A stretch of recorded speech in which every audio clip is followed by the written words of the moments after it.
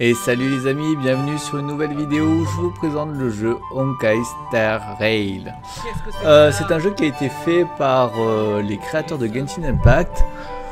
sincèrement, c'est un jeu que j'attendais depuis un petit moment parce que tout le monde en parlait, parce que par rapport à son système de tour par tour, bon, il n'était pas spécialement attendu par tout le monde, mais moi j'avais été très très très hypé par ce jeu.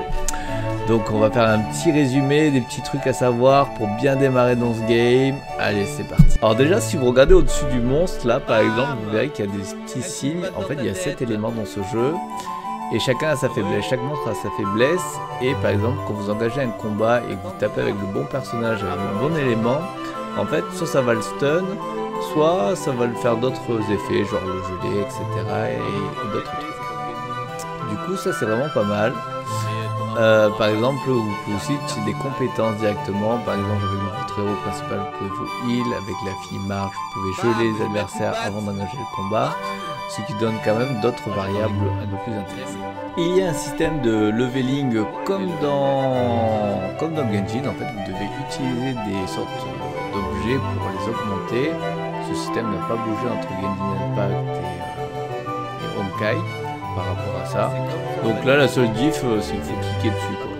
Vous voyez, vous avez à droite, en fait, vous avez le nombre d'objets disponibles et vous cliquez en bas pour les utiliser. Alors que sur Genshin, c'est affecté automatiquement et il faut juste appuyer sur OK. Ça, c'est la petite Il y a un petit arbre de talent qui est présent euh, pour chaque personnage. Bon, c'est pas un, template exhaustif, hein. de toute façon, il n'y a pas 10 000 sorts, il suffit juste de suivre, etc. Il n'y aura pas de spécialisation au niveau des templates. Mais voilà, ils ont rajouté quelques petits trucs. Euh, ça fait un plus quoi. Au niveau de la progression de votre personnage. Il y a aussi forcément le système de vocation pour avoir de meilleurs personnages. Ça, c'est vraiment la base dans tous les systèmes pour rentabiliser leur business model. Donc voilà, moi personnellement, j'utiliserai pas d'argent dedans, mais libre à vous. Et voilà, ça c'est euh, Petit conseil, gardez le maximum de cartes pour ceux qui jouent de façon gratuite, pour utiliser 10 invoques, pour avoir au moins un personnage rare. Ça c'est la base dans tous les jeux comme ça, où il y a des tirages au sort. Et le dernier point, enfin on y arrive, c'est le système des calices. C'est les petits trucs, euh,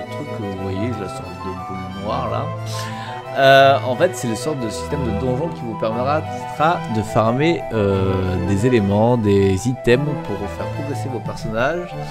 Et la fonction euh, avance rapide est vachement appréciable dans ce cas-là parce que vous faites 10 000 fois le même combat. Et même vous pouvez enchaîner les monstres d'un coup. En appuyant sur le nombre de, fois que vous les affrontez et du coup vous n'êtes pas obligé de faire 100 fois les mêmes mobs Vous pouvez tous les enchaîner d'un coup. Bon la difficulté est plus grande mais euh, franchement, ça se fait assez facile. Moi, j'ai utilisé tous mes points. C'est des petites orbes dorées. Et ça vous permettra d'augmenter euh, vos personnages. Il faut le faire quotidiennement si vous voulez augmenter. Voilà, voilà tout ce qu'il y avait à savoir sur Honkai. J'espère que ça vous, vous avez aimé cette petite vidéo. Il y en aura d'autres. Bye bye